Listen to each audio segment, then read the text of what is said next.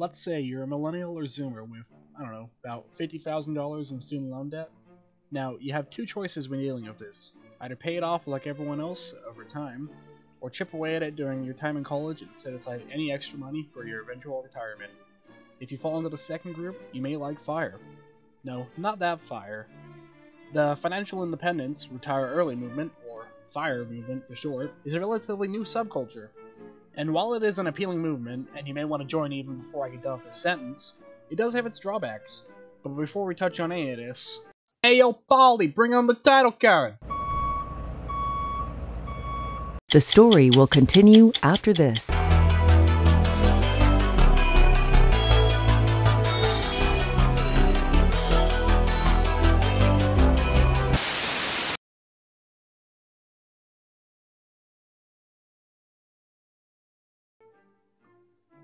One of the first works of fire culture was in 1992 with Vicki Robinson and Joe Dominguez's Your Money or Your Life, a book about financial self-reliance. Fire has been interchangeably compared to both the minimalist and simple living lifestyle choices since its inception. There was a small wave of Fire followers around the turn term millennial, but more of its adherents are millennial and some Gen X. The current wave was created more out of the ashes of the 2008 global recession and the 2020 economic crisis. And with events like that, and the uncertainty of the market some days, I can understand where they're coming from. Tanya Hester, a member of the FIRE community, describes it as so. Financial independence ultimately means that you can shape your life without taking money into consideration. That's considerably reasonable, especially in this day and age when inflation has snuck up on us faster than the amount of papier marks required to build a house about a century earlier. Much like any good group, FIRE has rules. The 10 pillars of financial independence, and looking these over, they seem to apply more towards an American audience, but can be used for anyone in the world if you really want to follow along at home.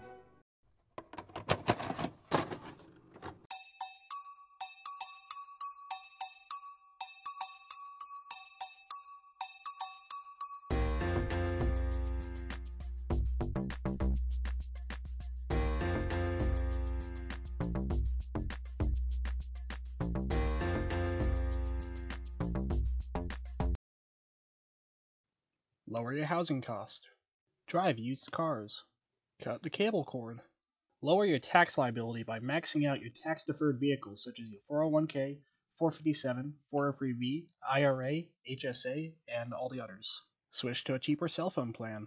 Use credit card rewards and smart financial habits to fund your travel. Reduce your grocery bills. Increase your income and consider adding multiple income streams, also known as side hustles.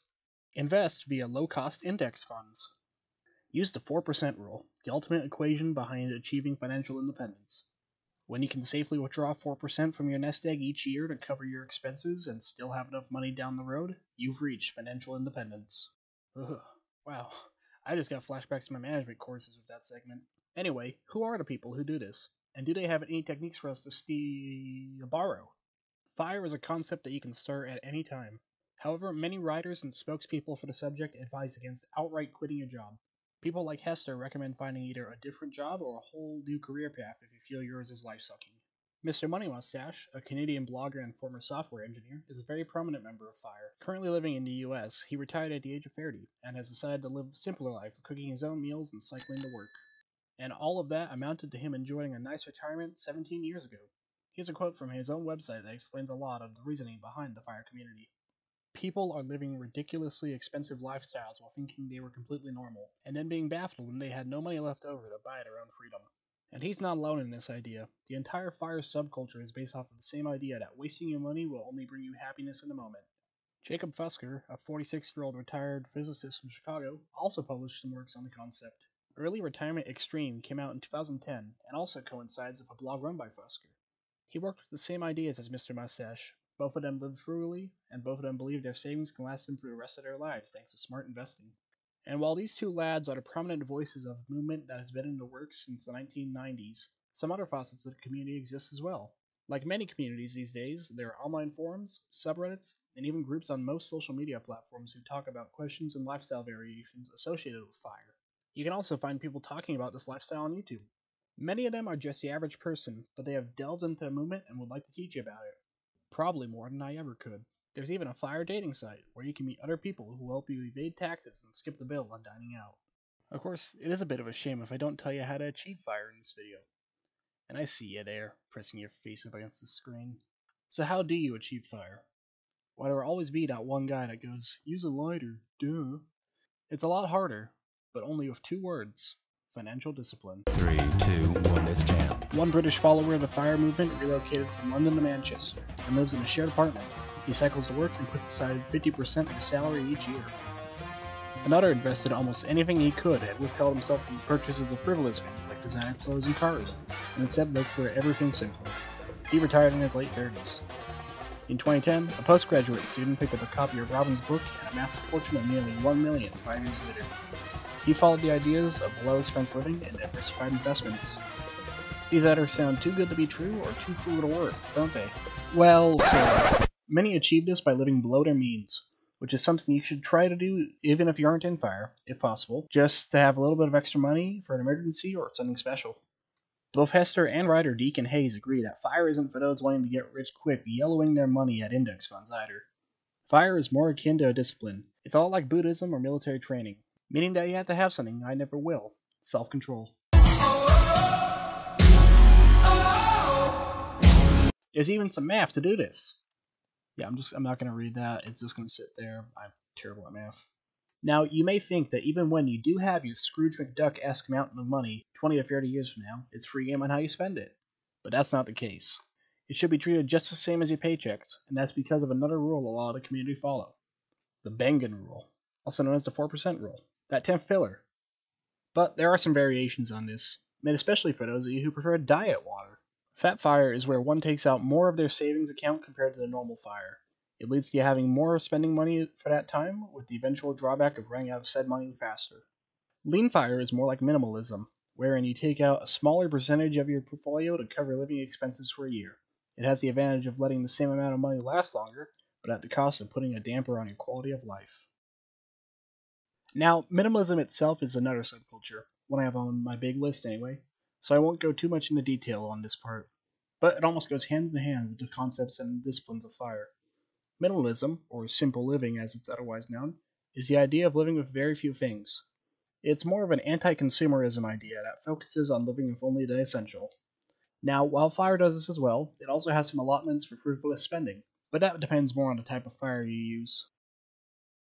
Parroting what a lot of companies have said in the last few years, in these uncertain times, we look to make sure that ourselves and those we love are not going to face hardships, something you can see with this Maslow pyramid right here, and we only want what's best for the future.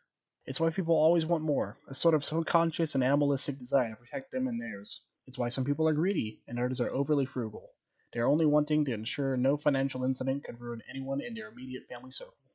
Others seek financial independence, the first two parts of this movement, wanting to wipe away debt and never accrue any more.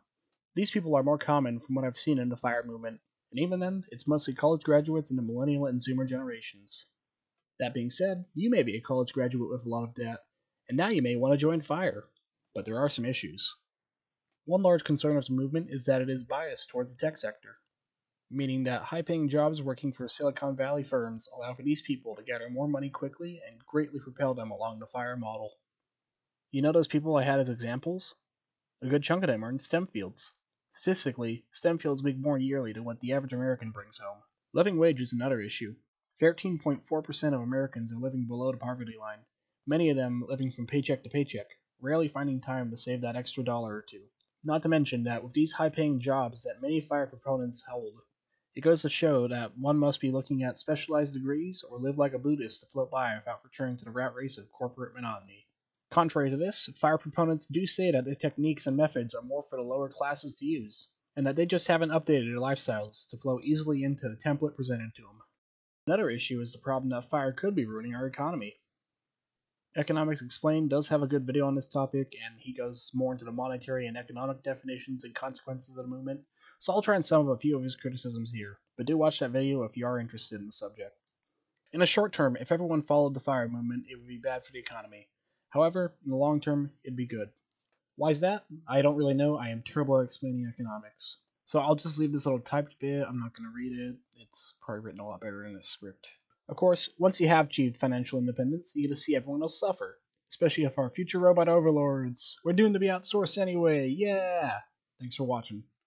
Okay, I gotta end this on a lighter note. Otherwise, the algorithm will drop my videos. Financial independence is a choice for each individual to make. Fine. If you like sitting at home and eating pizza rolls in your underwear and probably have some extra cash, it might be for you. If you consider yourself financially stable and could coast on your current retirement account, don't worry about this. See it as a fun video on the internet. If you're somewhere in between, you can think for yourself on this one. And again, I want to clarify one thing before this video is over. Do not take advice from a raccoon on the internet. I am not a financial advisor. I feel most of my business free. Unless, of course, uh, advice is about finding good food that was just thrown out. Now, for those of you still interested in financial stuff, I've left a few links in the description if you'd like to look in the fire. Well, with that out of the way, let's actually get this episode over with.